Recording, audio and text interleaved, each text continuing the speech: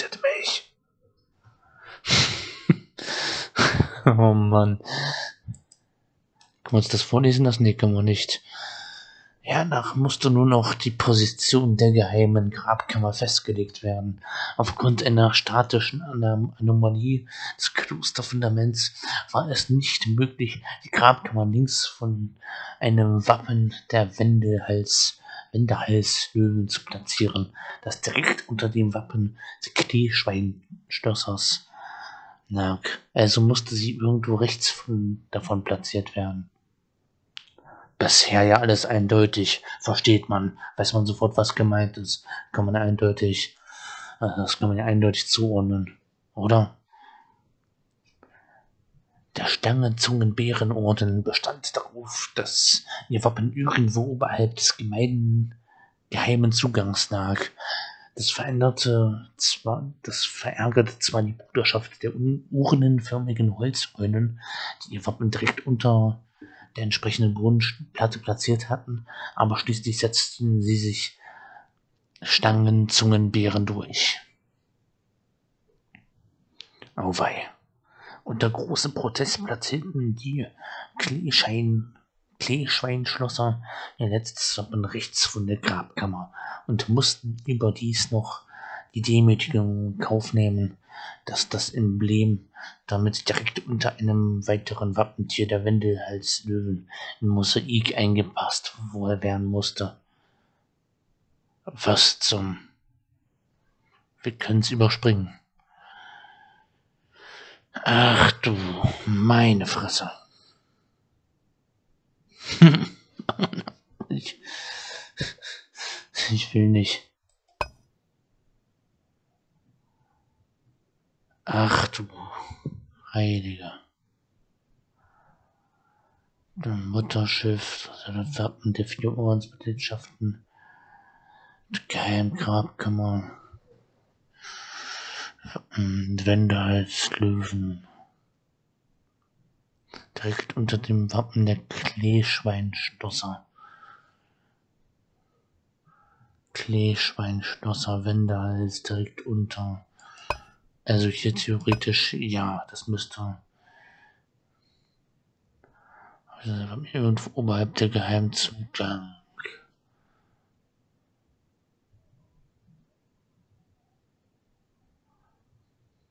Äh, was? Schlangenzungenbärenorden. Ach so, also ja, irgendwie. Das, da ist ja schon eins. Hm. Vielleicht hier. Da haben wir noch keins. Machen wir hier eins. Und hier dann das. Sudoku mit Symbolen. Ja. Unförmige Holzölen, die wir direkt unter der entsprechenden Bodenplatte platziert hatten. Ohne Eulen trägt unter. Das sagt mir auch noch nichts. Kleeschwein zum rechts von der Grabkammer. Ja.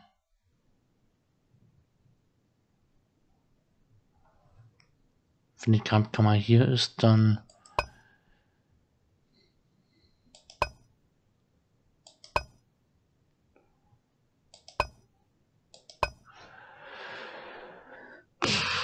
Ich rate einfach mal drauf los.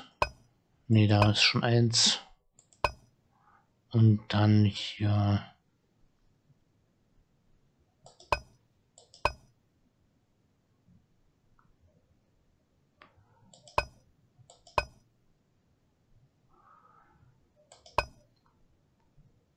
Ja. Fast zwei wäre auch zu viel des Guten gewesen. Das wäre zu schön. Wände als Löwenwappentier. Ach du Schande.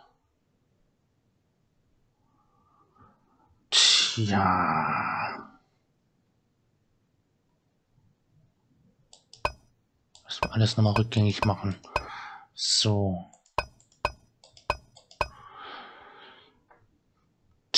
Tja, gut. Ähm, hier ist ein Pfeil nach rechts und dann ein Pfeil nach unten und der Pfeil nach links. Hm, hm, hm, hm, hm, hm. hm. Also. Das man von der durchaus. Wappen der Wendehals, Löwen. Rechts. Hier fehlt noch ein Wendehals Löwe. Das heißt unten rechts Wendehals Löwe. Zack. Dann fehlt hier nur noch die Eule. Hm. Dann hier Schlangen stand irgendwo oberhalb. Oberhalb die Schlange. Schlangenbärendingens. Fehlt hier nur noch die Eule. Unförmige Holzeulen, die ihr Wappen direkt unter der entsprechenden Bodenplatte platziert hatten. Ohne eulenförmig, die direkt unter hier. Es ist verwirrend. Dann haben wir hier die großen Protestliste rechts von der Grabkammer. Wenn das hier die Grabkammer ist, dann hier vielleicht. Und dann fehlt hier noch das. Und dann fehlt hier auf der Linie noch die Eule. So kann man es bei Sudoku hier auch machen. Hier, da haben wir einen Löwe, dann eine Eule. Und dann fehlt hier noch der Löwe. Hm. Nein, das macht keinen Sinn. Ich glaube, ich bohre lieber auf gut Glück weiter. Was? Okay, jetzt haben wir es beendet, aber... Was ist denn jetzt schon wieder? Nanu? Das sieht ja mal wirklich interessant aus. Aha. Mal sehen. Hm. Das sind zumindest schon mal dieselben Symbole wie auf den Bodenplatten. Aber das Muster So ist richtig ja total noch nicht. lückenhaft. Ich bin ein Profi, wenn es um Rätsel geht. Darum genügt für mich auch ein einziger Blick, um zweifelsfrei festzustellen, ja, das hier ist ein Rätsel. Aber die Seite mit den. Auflösungen scheint zu fehlen. So ist das Buch für mich wertlos. Es sei denn natürlich, du hast die Lösung. Hm. Ja, ähm...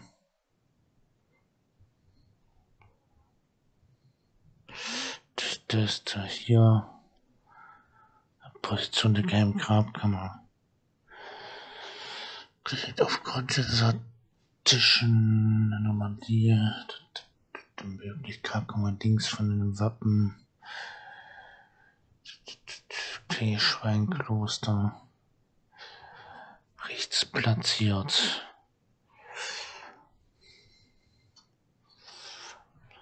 Irgendwo Schlangenbär bestand irgendwo oberhalb des Geheimen und aha. Bruderschaft Urnigen Holzölen. Direkt unter der entsprechenden Bodenplatte, wo auch immer die ist. Schlangenzungenbären setzen sich durch. Großen Protest, Schweineschlosser. Wappen rechts von der Grabkammer. Ja, wenn das hier.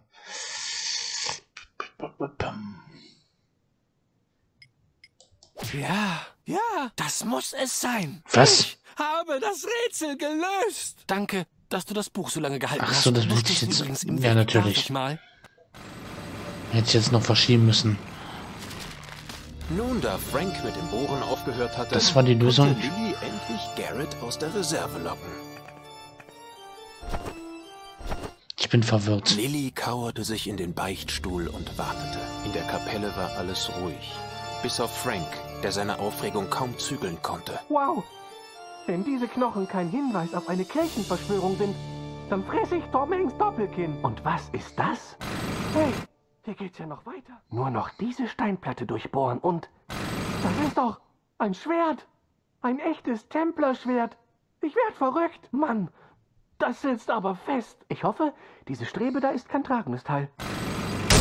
Aufschlag hallte in der ganzen Kirche Oh, wieder. Lilly was? versucht nachzuschauen, Ähm. doch dann hörte sie Schritte nahen. Was zum... Ähm... Herrliche willkommene Stille. Endlich kann ich meinen Horchposten wieder beziehen.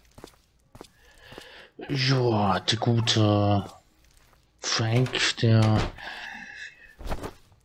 der guckt sich das Kreuz jetzt von unten an. Äh, ja. Die Radieschen von unten. Hey, was soll das? Nice. Eingesperrt. Lass mich sofort hier raus. Lilly war unwohl bei der Sache. Jemand in einen Beichtstuhl zu sperren, war möglicherweise kein angemessenes Betragen für ein braves Mädchen. Ach, was? Andererseits hatte sie Edna damit einen großen Gefallen getan. Sie konnte es kaum abwarten, ihrer besten Freundin davon zu berichten. Garrett ist also außer Gefecht gesetzt. Sehr gut, aber die Gefahr ist noch nicht vorbei. Ja, weshalb sollten wir den noch verlassen mal- kann, Musst du mir helfen, meine Spuren zu verwischen. Der Doktor darf keinen Hinweis darauf finden, dass ich jemals hier war. Könntest Okay. du das für mich tun? Aha. Prima. Mal sehen. Als erstes müsstest du den Luftballon entfernen, den ich in der Haupthalle hinterlassen habe. Da ist sogar Oh, ein. Porträt von mir drauf. Der Doktor würde mich sofort erkennen. Dann habe ich bei der Schuluhr mit Knallfröschen gespielt. Sagen wir einfach, es war Teil eines Wetterexperiments. Und es wäre auch geglückt, wenn ich einen echten DeLorean gehabt hätte. Du ahnst ja nicht, wie schwer es ist, einen Rasenmäher auf 80 Meilen pro Stunde zu beschleunigen. Und natürlich musst du die Widmung am Schaukelbaum entfernen. Das tut mir zwar genauso weh wie dir, aber einen besseren Beweis für meine Anwesenheit könnte ich dem Doktor wohl kaum liefern. Meinst du, du schaffst das alles? Aha. Es spielt auf jeden Fall nach Nachricht aus. Weil Dr. Easy schon kennt. Aha. Na, muss nichts heißen, aber ja, das spielt. Spielt danach. Verleinwand. Okay, wir müssen jetzt alle Hinweise entfernen. Ich weiß auch schon, wo sie, ähm, wo sie sind, die Hinweise. Schei. Ganz alleine hier. An Riot Girl gedacht. Riot Girl ist voll cool, weil Riot Girl Shibuya-Klamotten trägt. Ist das nicht unglaublich faszinierend? Hm.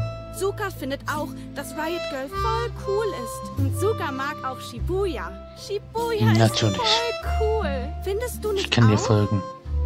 Ähm, ja, das kann einen schon mal nachdenklich machen. Ich denke viel zu viel über so Sachen nach. Mein Kopf ist schon ganz schummrig. Aber Riot Girl ist cool, nicht wahr? Natürlich. In die Haupthalle. Was? Ähm. Clowny.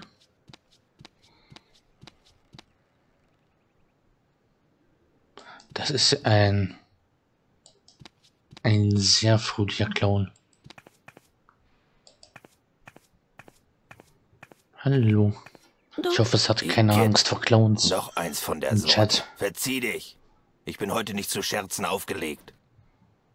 Ich hoffe, keiner von euch hat Angst vor Clowns. Ähm, Im Live-Chat und auch später in den Parts nicht. Ähm, Clown.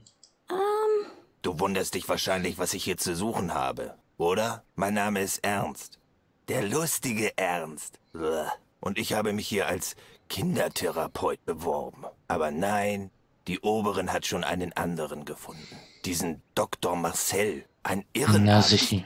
Ist das zu fassen? Den Typen würde ich nicht einmal an meine Kinder ranlassen, wenn ich wüsste, wo die sind.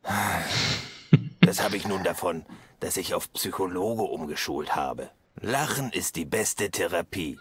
Ah, Super Idee. Seit Monaten warte ich auf ein Engagement. Ich hätte lieber Klempner bleiben sollen.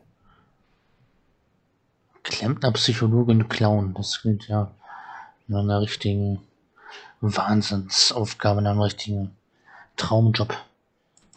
Was? Gefällt dir meine Laune nicht? Soll ich jetzt ein paar Kunststückchen vorführen oder was? Mir geht's halt mies, weil meine Therapieidee gefloppt ist. Lachen ist die beste Therapie. Ah, Super Idee. So ein Dreck.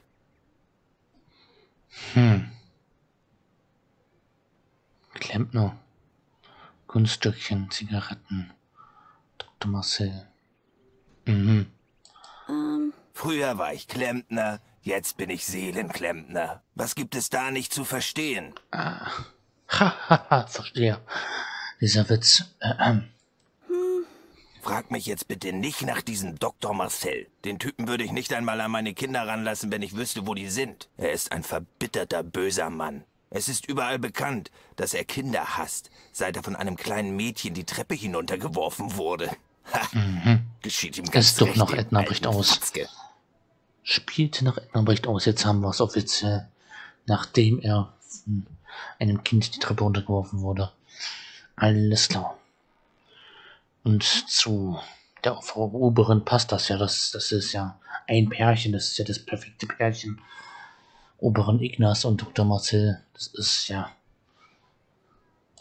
Das, starrst du so auf meine besser geht's Zigaretten? nicht. Die sind nichts für zart beseitete Kinder. Verstanden?